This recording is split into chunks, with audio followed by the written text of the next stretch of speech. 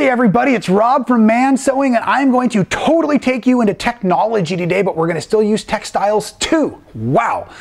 I'm glad I went through speech class when I was a kid. I used to say all my T's as S's or something like that. Anyways, this is what we're making today, and I'm super excited about this. This is a cool little travel tote that your cell phone can go in, and sometimes it's not real convenient in like a hotel room or even in your own bedroom to have this close to your charger. So look at this. You take your charger, you slide it through a grommet like this. I've got a little pocket on the back for your cord, and so at any rate, that will hang there for you, and you can charge your phone overnight, keep it all tidy and convenient, and if you needed some extra protection or pad while you're traveling. So this is going to be a really, really cool project. And there's a couple different options for you here on this, but it's really just super fun. So let me get you started. Supplies wise, and I've already blown through a lot of this with my rotary cutter, but I started with one of the little five inch square packs from Island Batik, a fabulous uh, set of greens. I think it had about 16 colors in it. I've got some batting scraps, and let me just tell you the sizes right now on our batting scraps. Um, I've got a five inch by 10 and a half inch. I've got a five inch by seven seven and a half inch, and I've got a five inch by four and a half inch. And those are the good sizes, not the scrap sizes. So you're taking your scraps and making those three pieces, please. We're also gonna use uh, our cool plastic grommets, and there's a quick tip out there for you if you need a little extra information on the grommet. I'm gonna put this in at the end very quickly for you. So let's go ahead and get started. And what I was saying is I took this cool Island Batik fabric, right? And I cut my five inch, five inch squares right down into one and a half inch pieces. But stop. Don't get your whole pile out yet. You really only need one of each of the 16 fabrics out of your set. And when you're done cutting these down into your one and a half inch strips, you should end up with about 48 if I've done my math correct, and you only need about 42. We're gonna organize these here in a minute, and we're gonna make three different size panel pieces for our bag. So the bag is, like I said, divided into three pieces. You've got your front cover, protects your phone, the middle panel, and then the back little pocket, okay? So this is an example of what that um, little uh, back portion is going to look like, and this is a sample of what the front little pocket's going to look like, okay, when we're done. So we're going to build this fabric first. And to build the fabric, what I really did is I took all of my scrap pieces like I've got, and I kind of wadded them up, right? And what you want to do is you're going to build um, technically six piles of working sizes, and I'm going to use piles of 10, so I need two piles of 10. I'm going to have piles of 7, so I'll need two piles of 7. And then I'm also going to use piles of 5. And with that, I'm going through here and I'm kind of enjoying the way the colors are um, playing together. And you notice I just pulled this one out of the mix because I don't want the same fabrics to touch each other. So there's two, four, six, eight. Here's two more down here for 10. Okay, so you want to build two like that. We're going to build two with seven in there. Three, four, five. Like that. Okay, oh, got the same fabric Let's do it that way. And of course, you could build a pile with five. And if I've got to count that out for you, you probably have already tuned me out, but there's the five pile. Okay, like that. Fun and easy, and I said five, and I apologize. It's actually, um, in my notes, it's four. So you need a 10, of seven, and a four. I thought that looked kind of funny. Let's get this stuff out of the way. Now, what we're going to do here is we are going to sew them together in those groups, the 10s, the 7s, and the 4s, not the 5s, right? And so let me see here. I had a piece, and I think I just threw it on the floor, so this one ought to be just fine. And I'm going to, with my quarter inch seam allowance, piece these together.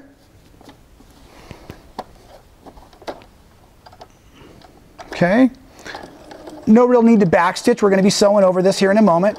And there's something I want to point out to you when it comes to batiks. Now, most of us love batiks because we kind of feel like they're unidirectional or they're, you can use either side. Well, they're doing some cool technology nowadays to get some really crisp, great printing with the batiks. Okay, so like to get these really cool like snake scaly lines in this batik here, they've actually done the last layer as a screen print like they do standard fabrics. So it's been dyed, but then they have the last layer with a lot of that intensity put on. So this is the top side.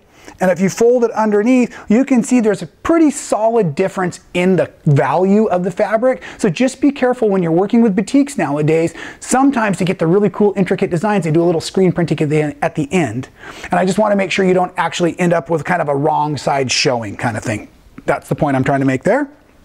Okay, now, one of the other things I've learned to do is while I'm pressing these out, I actually hold the piece of fabric up in the air, and then I'm gonna let my iron hit this, and then I push across the seam, and then I push across the seam, and on and on it goes. And sometimes I'll kind of lift up on the fabric. Let me see if I can show you that left-handed so you can see it a little bit better. So I'm kind of holding up the fabric, and then I lift and drop, lift and drop.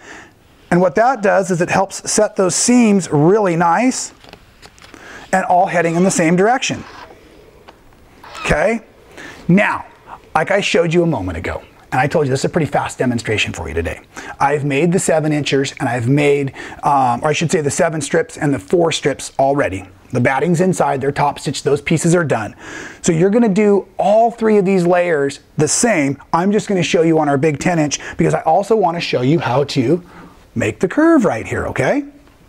So what we need to do is we're gonna go fabric, print, or correct side to correct side. So the fabrics are together, right sides together. And then I want you to take your big piece of batting, we can lay it right on there. And then of course you're going to need some sort of fantastic circular creating tool. For example, my roll of blue tape. And I'm going to lay it so the arc's basically at the top, kind of roughly center that. I like to make these kinds of cuts with a small rotary cutter so I can come in and I'm kind of coming about halfway down the tape and cutting. Uh-oh. Looks like I've got a little, little bit of a dull spot in my blade. So I can, now that I've actually kind of cut through that, I can see what I'm doing cut it a little bit better. And you know, an old pair of scissors wouldn't be a terrible way to do this either, right? We're just kind of rounding that edge. I don't love the way that looks. Somehow it's always smoother when you're not watching me at home, right? So let me just make that beautiful for you. There we go. Now I'm happy with it. Get some of this gear out of my way. Now from here, what I'm going to do, like with all of our sewing and our, and our top stitching, or excuse me, I will top stitch with all of our sewing, I'm going to start just right in here on this little corner, and I'm going to come all the way around with that quarter inch seam allowance again. And I like when I'm doing this to have my batting on the top. I like having my feed dogs against the, the print. Needle down on the corners. And away we go. And I'm going to stop and do a little back stitching to help lock that in place. And then once that's happened, all I need to do now is put my fingers up in here and start to turn it right sides out.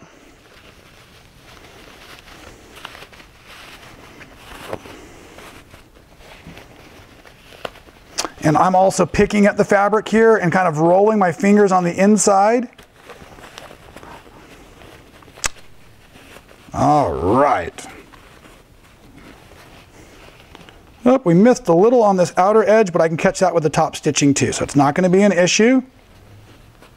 But I am going to press it to secure.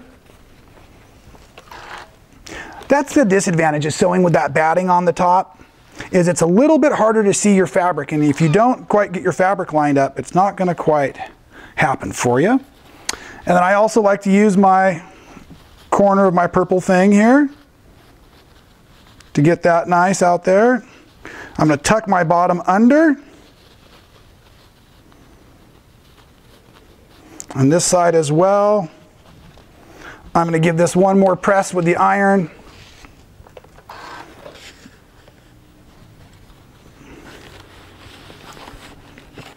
Like that. Easy, easy, right? And now I like to always top stitch the area that I was working in where the opening is so that I capture it quickly. And here we go. A lot of times top stitching is done a little closer to the edge of the fabric than the quarter inch seam allowance.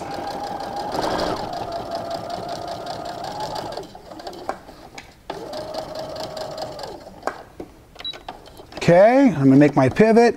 And I'm looking for that spot. I knew I had a little bit of trouble. Not a big deal. We're also gonna be stitching the other pockets up in on top of this. And so with that other pocket coming in on top of this, it'll also fix that little boo-boo I made. Oh. So this is kind of set up. Mine was a uh, kind of the same size as the iPhones that are out right now, not the giant phones that are out. This is not a 12 inch bag or something, but you could certainly make this in a much larger size if you wanted to, even for like your iPad or some sort of other small tablet. Okay, got some small scissors here. Trim this up. Okay, now, so once I've got my like top stitching done for this, the rest of it gets pretty darn easy. Okay, so what I'm gonna do, because I had that boo-boo, I'm going to pick the side that I think is the most attractive, and that's gonna become the outside. And check this out. I'm gonna take this, and I'm not gonna lay it on to match the strips. I'm gonna actually lay it on just like this, so that I can actually alternate the strips and it brings it in a little bit closer and there's a major trick behind that. I don't want all that extra girth out in the, uh, the edges when I sew on the other panel. So now for this, I'm going to start at the top oh, excuse me, I'm going to scoot this up about a half of an inch too. Same reason at the bottom. So I'm going to start here at the top. And I'm going to actually double back stitch this time. Back, forward again, and back. Whenever you're doing pockets like this, that you're going to be putting your hand in and out often, the more security you provide there, the less chance you'll have to restitch it later. Now I'm just kind of trying to follow that top stitch line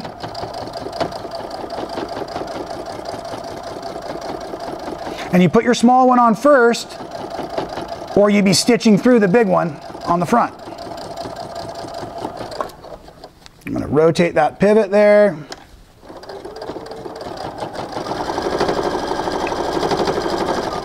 And as I get ready to approach, I'm going to do the same side on this. Back stitch once, back stitch twice. And I actually come out past that pocket a little ways. There. Okay, and I'm trimming these threads now because I'm going to be installing the other side. Once that's done, now I'm taking this and I'm looking for my favorite side with my favorite fabrics showing or how I like it. And now this is gonna lock right in on the top, but I actually don't sew down the first row either so that I have a little bit of a better ability to get my fingers in there as well as I just kind of like that look. So I'm starting on the second strip down right at that seam allowance and I'm going to now come in on that same top stitching and I'm back stitching again and back stitching again for the same reasons and now I'm going to go hustling around here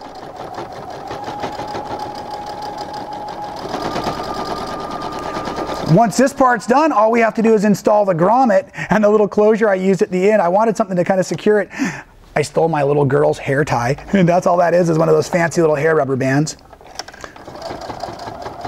I don't know if you caught me. I gave it a little extra encouragement around that corner. Sometimes you need that with all that bulk in there.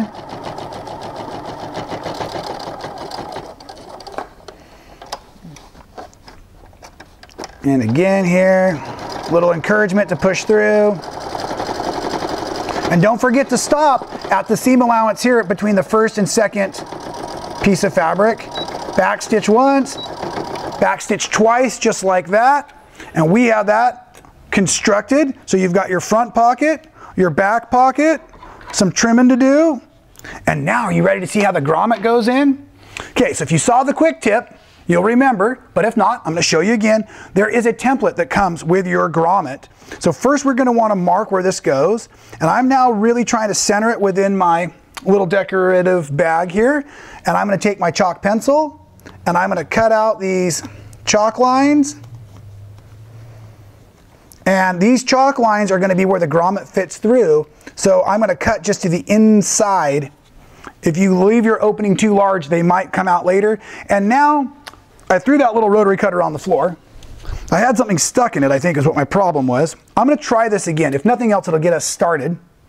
If it doesn't work, I'm going to get my regular scissors out. A little more of a sawing motion here, but it's still working nicely. Almost have it for you. And here we go.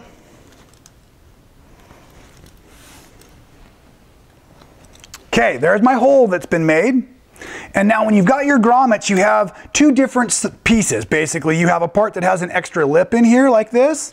That I like to put from the bottom side under so that that lip comes all the way through. And then the other piece is just completely flat, but you will notice there's the release mechanism that you could put a screwdriver in there and pop it loose. So I don't want you to be able to see that. So I'm gonna hide this down in there, get it all lined up and put a little pressure on. Once I've got it snapped in, I put my palm of my hand on there, and look at that. Is that not the most terrific little cell phone bag? Okay, now that you've got the basic steps down with this one being finished, I wanna show you and tell you a few of the other options I had done. So when I was first playing with this, it was kind of feeling a little bit bulky, so I actually free motion machine quilted each individual layer before I assembled them. Of course, you couldn't quilt them and then uh, when they're already assembled because you would stitch it through and you couldn't slide your phone in. So hopefully that makes sense for you.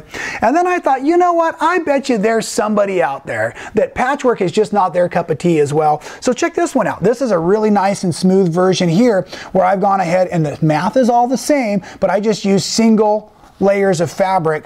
And this one is obviously not quilted, but it still has the batting in each and every layer as well. So that's another nice option. And then you've got your different color grommets you can put in. There's a huge variety of colors of grommets to decorate it up with. And then there's that little hair tie that I stole out of my daughter's uh, hair and ribbons drawer when she wasn't looking. And the object behind that was that I can now cover this around the back and kind of lock that in and that now keeps my cord and my charger and everything nice and secure. So here's what I want to know. I want to hear what your very favorite piece of technology of all times is, even if it's the toaster or the bread slicer or whatever. I want to know what you love out there. Drop it in our comments below. We read each and every one of them at least three times. And while I'm making good stuff at home, you're making good stuff at home. We'll see you next time at Man Sewing.